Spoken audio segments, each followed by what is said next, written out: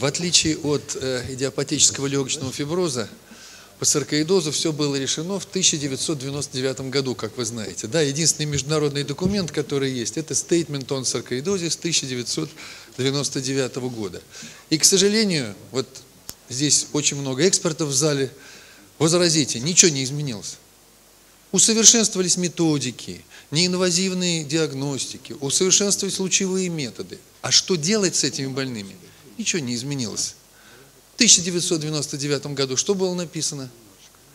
Не трогать, если не прогрессирует, а если трогать, то сразу 12 месяцев. Все. Вот все, что там написано. На этом можно заканчивать лекцию и расходиться по домам. Ну, а тут немножечко странный пульт, да? Ну, ладно. Значит, вот я просто поделиться, что у нас происходит в Татарстане, да? Мы их выявляем все больше, больше и больше, и все больше и больше биоптируем. Куда их девать, непонятно, потому что восьмой группы учета нет. Они находятся у врачей общей практики, а мы вот несколько пульмонологов их курируем и пытаемся создать кабинет. Пока поддержки нет, поскольку у нас всего 2000 больных на республику. Министр сказал, 10 тысяч будет, будет тебе кабинет. Копим. Патогенез вы прекрасно знаете, да, никто не знает, почему возникает. Куча развеселых публикаций, другого слова нет. Одни чистили авианосец, другие гуляли в сосновом лесу, да, третьи болели, болели боррелиозом, и все заболели потом саркоидозом. Понимаете, то есть этиология совершенно непонятна.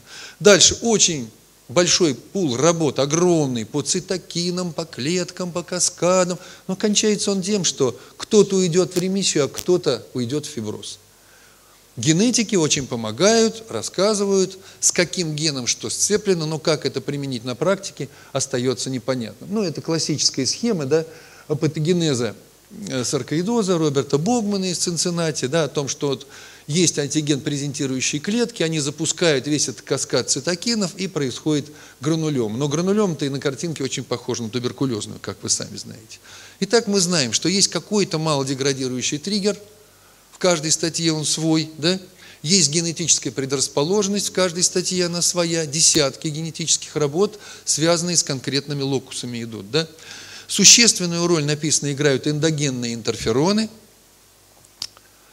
Какова роль, вот смотрите, какой парадоксальный вопрос, какова роль иммуносупрессивной терапии в лечении болезней с инфекционным триггером?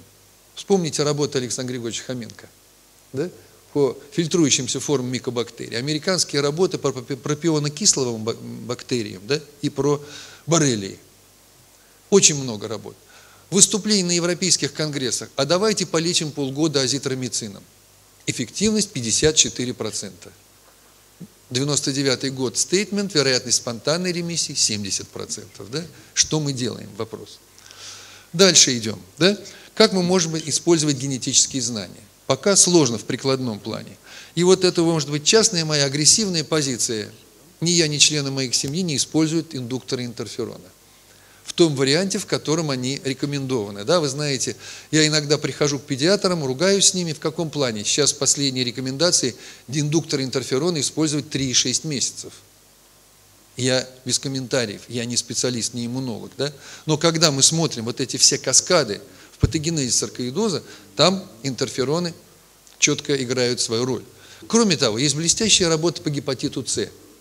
Вы знаете, да, что если применять интерфероны э, при лечении гепатита С, возникает саркоидная реакция. Убирают интерфероны, саркоидная реакция проходит.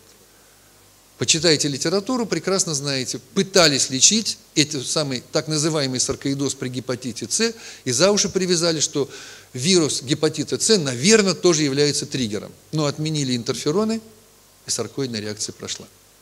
Классификацию все знаем. Парадокс состоит в чем? Что если бы кто-нибудь когда-нибудь спросил, в том же 2003 году, когда упраздняли восьмую группу диспансерного учета в фтизиатрии, Кому бы передать саркоидоз? Почему решили отдать пульмонологам? Я не знаю. Вот меня бы кто спросил, сказал, отдать только иммунологам. Иначе мы с пульмонологией не продвинемся, потому что саркоидоз – это не легочное заболевание, это системный процесс. И кроме веселья не вызывают ничего работы, где ингаляционными стероидами лечат саркоидоз. Да, шлевые формы, конечно, помогают. Саркоидоз бронхов, где видны бугорки, там изменения характерные при бронхоскопии. Никто не спорит, но это системный процесс. Потому что Та же, например, профессор Ловачева, когда мы обсуждаем, есть ли саркоидоз стадии 1, она говорит, а давай сделаем биопсию легких, и там будет гранулема, а давай сделаем биопсию печени, и там тоже будет гранулема. Но не факт, что его надо лечить. Поэтому стадии саркоидоза не связаны с лечением совершенно. Вот в последних э, клинических рекомендациях и в монографии по саркоидозу, да, вот вы знаете, где-то в 2008 году Российское общество поручило мне как бы вот такую команду создать, 42 человека объединились. В чем особенность той монографии, которая была издана Российским респираторным обществом? Впервые в ней не отдельно пульмонологи, не отдельно фтизиатры, не отдельно терапевты. Там все, включая даже гинекологов. Каждый работал над своей головой, не трогая соседнюю. Да? И вот мы подумали, вот вариант как фенотипы, да, или как в России положено говорить клинико-патогенетические варианты, что есть так называемый классический, ну, потому что он через физиатрию пришел, уж извините, что говорю, что он классический. Потом с преобладанием внелегочных поражений есть блестящие работы Роберта Лоден Кемпера, который сравнил в свое время саркоидоз в ГДР и ФРГ. Это два разных заболевания. В ГДР это наш советский саркоидоз, выявленный флюорографически. А в ФРГ это тяжелый нейро, кожный, потому что никто рано не выявлял, никто ничего не делал, и почему-то не было спонтанной ремиссии. Да? Ну и по особенностям течения мы видим, да, есть острые варианты. Они наиболее интересны в каком плане?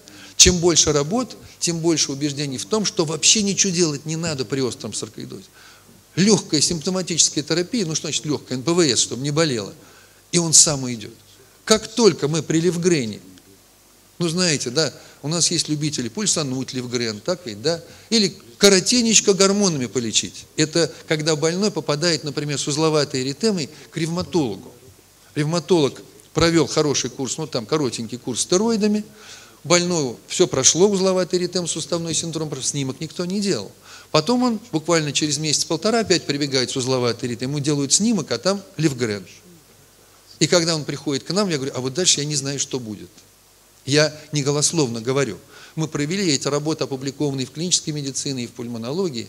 Мы в 12 центрах, включая Белоруссию, инициативное исследование, никакое не ангажированное абсолютно, посмотрели, что бывает с саркоидозом через 10 лет называется. Вот сегодня выявили через 10 лет. Там, где сразу начали стероидами, там все плохо. Я не против стероидов, да? но вы поняли, о чем идет речь. Рентгенологические стадии, вы знаете, все больше и больше идет разговоров о том, что надо убрать слово стадии. Потому что приходит больной и говорит, у меня была первая, а стала третья, я скоро умру. Ничего подобного, да? У него или была вторая, стала третья. У него узлы ушли, легкие остались, да, поражение легких. Мы не знаем, в какую сторону, хорошо это. Четыре, да, плохо, это фиброз. Ну вот книжки международные очень хорошо рисуют саркоидоз. Вот студентам хорошо показывать, да. Саркоидоз – это легочное заболевание. Много ли легких на этой картинке? Да, и каждая картинка отражает свою локализацию. Вот мы недавно в Татарстане завели себе ПЭТ, и сейчас тоже много чего интересного увидим, да, когда больные ходят. Ну уж больно дорого. Ну, классический так называемый да, саркоидоз начинается вот с такой картинки, которую все сто раз видели, да, и дальше что идет? Первая, вторая, третья, четвертая стадии, которые хорошо э, видны на снимках. Рентгенограммы Конечно, начальный метод, но посмотрите, в тот же день делается КТ, насколько информативнее КТ, конечно, да, что мы точно знаем, что это вторая, третья, четвертая. Ну, без КТ не работает. Функциональные исследования. Еще одно больное место, еще одна, можно сказать, заноза в саркоидозе. Вот приезжают больные с разных регионов, включая, кстати, Москву почему-то, да, хотя вот дайте мне адреса конкретные по Москве. Центральный институт туберкулеза я эксплуатирую только в тяжелых случаях, чтобы их не перегружать, у них своего хватает, да, на экстракорпоральную э, модификацию лимфоцитов. Есть такие больные, которым очень хорошо помогает, и они возвращаются с хорошими ремиссиями оттуда. Но вот боль-то в чем? что выявляют, Бог знает, что с ними делают, с больными, и ни разу не сделали спирограмму. Ну, хотя бы желба была исходная. Вот согласитесь, мы говорим сегодня о лечении. Больной пришел, у него классическая вторая лучевая на КТ. Прошел, прошло полгода, он ел витамин Е, больше ничего не делал. Ничего не изменилось, и чувствует он себя хорошо. Даже ребенка родил за это время. И общество медицинское говорит, а почему ты не назначил ему гормоны? Я говорю, а зачем? Он бегает 100 метровку лучше меня. Ну и что, что у него в легких есть изменения? А была бы у него жел, была бы у него диффузия, да? Мы сделали второй раз, она такая же, и уже есть аргумент. Вот не делают спирограмм, надо делать обязательно, да, и чтобы эта спирограмма все-таки была спирограммой. Тут я критикую сам себя, потому что у нас очень много компьютерных томографов в республике, у нас уже 8 бодикамер, 10 диффузиометров, да, все нормально. А спирограммы, это не спирограммы, это ослиные уши, пилы и так далее. То есть надо учить медсестер, чтобы кривая была классическая. Кожа, да, осмотр, вы знаете, люпус пернио, ознобленная волчанка, сразу говорим, плохой прогноз. Почему, не знаю, но факт тот, что у этих больных, как правило, тяжелые легочные поражения. А вот узловатая эритема, вот вариант, вот цветущая узловатая эритема. Мы говорим, как компонент синдрома Левгрена, это хорошо. И вот мы по Татарстану сделали анализ тоже на глубину до 17 лет, и очень забавный вывод, что синдром Левгрена, и в частности узловатая эритема, проходит независимо от того, что делали с больным. Что просто как говорят, правильно назначали десятиуровную воду, то с первого дня преднизолоном кормили. Он шел в рецидивы, но сам левгрен и узловатая эритема все равно уходит. Э, ну вот саркоидоз кожи. Опять берем Богмана, Цинциннати, написано, если поражено два органа, надо лечить преднизолоном. Вот эта женщина, представляете, какая у нее толстая шея, да, у нее есть ожирение, там второй, третий степень, у нее есть диабет, второго типа, у нее гипертония. Она пришла с саркоидозом один и вот с этим поражением кожи. Вот вырезали кусочек кожи, подтвердили, что это саркоидоз, в легкие не лазили. Так? Формально по американским признакам мы ей должны назначить преднизолон. Мы ей ничего не назначили. Она пьет витамин Е правильно, то есть там, ну, надо назначить до еды, после, как вам больше нравится. Да? Главное, чтобы больной чувствовал, что он лечится, психологический компонент. Да? Фтизиатры в свое время что делали? Еще тиосульфат капали, правда? Тоже производил, то есть производил большое впечатление. Что мы видим? Ничего не делаем этой женщине, и ничего не уходит. Она припудривает свою шею, живет спокойно, под наблюдением уже 12 лет у нас, ничего не прогрессирует. А вот другая бабушка из района, мы с разрешения ее сына, и ее э, показываем без э, ну, маски на, на глаза, попросил разрешения, что они разрешили мне. Да? На лице у нее несколько шрамов. Уникальные хирурги из центральной районной больницы эти шишки с лица ей убирали. Понимаете, да? Ни разу не сделав гистологии. А у нее в легких матовое стекло. Ну, потом назначили, соответственно, пришлось пределом диффузии упала до 30%. Селезенку обязательно смотрим. И в ходе лечения, и при выявлении. Посмотрите, какая селезенка до терапии, после терапии. Еще она пятнистая бывает, бывает она... Посмотрите, вот такая барышня 15 лет, и вот сколько ее тело занимает селезенка. Это случайный гематологический консилиум, на который я попал, и в какой-то степени спас девочку от того, чтобы ей вырезали эту селезенку. Опять же, посадили на большие стероиды, она год их пропила, селезенка ушла.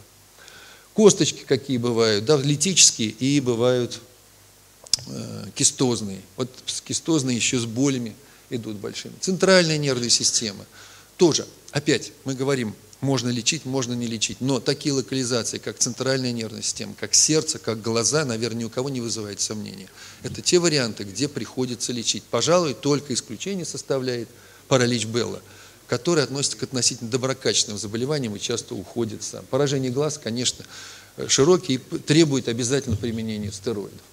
Итак, мы говорим о лечении. Целью лечения является предупреждение или контроль повреждений органов и систем. Любые международные публикации и большинство отечественных именно на это и направлены.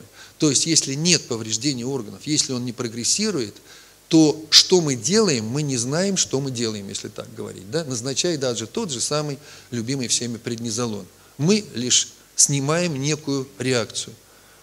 Во всех случаях сопоставление необходимости лечения с тяжестью последствий. Если посмотреть на FDA, пока мы кланяемся Соединенным Штатам, все время говорим, надо посмотреть, как там FDA решила, да, одобрены только системные кортикостероиды и адренокортикотропный гормон, гель, который вызывает массу осложнений, поскольку это гель, вводимый подкожно. Другое ничего не, не одобрено при саркоиду. Все, тем не менее, даже с гормонами, тоже тот же Богман у нас тот же Костабель из Эссена, та же Дрент из Нидерландов, который возглавляет в Европейском обществе все интерстициальные процессы, они все говорят, все наши схемы носят рекомендательный характер. На первом месте персонифицированная медицина. Другого ничего не сказано. Но в то же время, посмотрите, какой антогенез лечения, какие тяжелые препараты хотят применять при саркоидозе. Вот скажите, пожалуйста, из президиума и все, кто-нибудь из вас участвовал в международных исследованиях по саркоидозу, в трайлах? И я не участвовал. Мне приходили предложения, но в каком плане? Они говорят, нам нужны больные, которые последние 6 месяцев получают не менее 40 миллиграмм преднизолона. Для того, чтобы этот анкор попробовать. У меня нет таких больных. Если у вас есть такие больные, которые полгода 40 миллиграмм преднизолона получают, с чего это они получают? Они вообще непонятно, да? И посмотрите, талидомид, пинтоксфилин, кстати, сейчас поговорим два слова, у меня еще есть 4 минуты, так? Преднизолон, доза, посмотрите, от и до, никто не знает какая, даже президент Всемирной ассоциации по саркоидозу не знает дозу. Специально, когда делали рекомендации, списался с ней, Дрент сейчас э, возглавляет, говорит, не знаю. А какие побочные реакции? Вы все наверняка видели эти стрии, да? А если заглянем к Арчибальду Кахрейну, да, то оказывается, что вообще доказательной базы по, по э, преднизолону при саркоидозе несколько системных обзоров находится в медлайне, найдете. И все они очень сдержанные и говорят, сколько за, столько и против. Ну вот, посмотрите, 99 год – Пожалуйста, наблюдать не лечить, если уж лечите, то 12 месяцев, 99 год. А вот Александр Велс, который очень много сейчас и по фиброзу делает, мы видим, какую хорошую вещь. Он группу таких англоязычных стран, Англия, Новая Зеландия, Австралия, собрал, и они сделали свои рекомендации с доказательной базой. И говорят, поскольку все хорошо, при саркоидозе 1 лечить не надо. А если при 2 и 3 больного все хорошо, то тоже лечить не надо. Посмотрите, да? Вот это нужно довести до наших докторов – которые вот ко мне приезжают больные уже леченные. Я могу назвать регионы кто как. Есть регион, где пульсуют. Есть регион, да, вот вы не знаю, как отреагируете, сразу начинают лечить полиоксидонием и теактивином на фоне антибиотиков. Ставят диагноз гистологический саркоидоз. А потом спрашивают, потом знаете, слушай, возьми больного, что-нибудь с ним сделай. Я говорю, а я не знаю, что с ним сделать, я не иммунолог. То, что с ним уже сделали, это непонятно, да? Но тем не менее, тот же Веллес пишет, что оральные стероиды являются препаратом первой линии. Там, где есть прогрессирование, там, где все плохо, конечно, они нужны. Да? Пожалуйста. Все подтверждается. Ну и остеопороз как риск. Ингаляционные стероиды значения не имеют. Метод Рексат. Ничего останавливаться не надо, просто заглядываем в руководство по ревматологии, читаем ревматоидный артрит и лечим. Один в один. Схема ревматоидного артрита. Почему-то Восток называет это оригинальной согласительной схемой. Я тоже в дискуссии участвовал, рассылал нашим экспертам эту дискуссию, вопросники. Да? Все сошлись на том, что от 2,5 до 15 миллиграмм раз в неделю, после этого на следующий день фолиевая кислота для защиты, и все очень хорошо. Ну вот, пожалуйста, наше наблюдение. Действительно, больные идут на метатрексате. Реакция нашей медицинской общественности была крайне негативная, особенно фтизиатров. Когда увидели первым, с 2000 года мы триксатом лечим в Татарстане, на сегодняшний день вот таким вот, как видели, вот полную женщину на снимке с кожей, но если бы у нее был большой прогрессирующий саркоидоз, я бы ее начал лечить с метатриксата. И уже у нас накопилось больше 100 больных на монотерапии, у которых очень неплохой результат. Всего 12% из 100 с лишним больных ушли из лечения ввиду побочных реакций. АЛТ, АСТ или падению белой крови было. Да? Пентоксфилин, загадочный препарат, да, влияет на фактор некроза опухоли, может применяться, пробуем, американцы лечат, белорусы лечат, э, ряд регионов лечат. Вроде помогает, но многие наши эксперты в России улыбаются и говорят, можно еще дистиллированную воду назначать. Но эффект мы видим, да, что что-то происходит, что-то рассасывается. И, наконец, последний витамин Е – к нему относятся очень неоднозначно. Да, говорят, что это пищевая добавка и все. Но у нас накопились наблюдения очень интересные. Приходит женщина молодая, второй саркоидоз, вторая стадия, да, ну, видно, что она тревожно-мнительная, да, биопсию она прошла добровольно, сама настояла. Мы говорим, вот пей два по 200 витамина Е. Она через год приходит, у нее все хорошо, чуть лучше. Пить не пить. Я говорю, да в общем-то не надо. Она говорит, ну вот давайте я буду пить. Я говорю, ну пей. Два года пьет. Все хорошо. Третий год приходит, я говорю, ну все, прекращай, больше пить не надо. Через три месяца резкое прогрессирование. И таких уже накопилось достаточно. То есть а, это антиоксидант с каким-то интересным эффектом. Это все препараты экспериментальные, которые требуют ну, дальнейшего наблюдения. Я не буду останавливаться на частных случаях, которые тут у меня есть, потому что регламент мой закончился. Спасибо.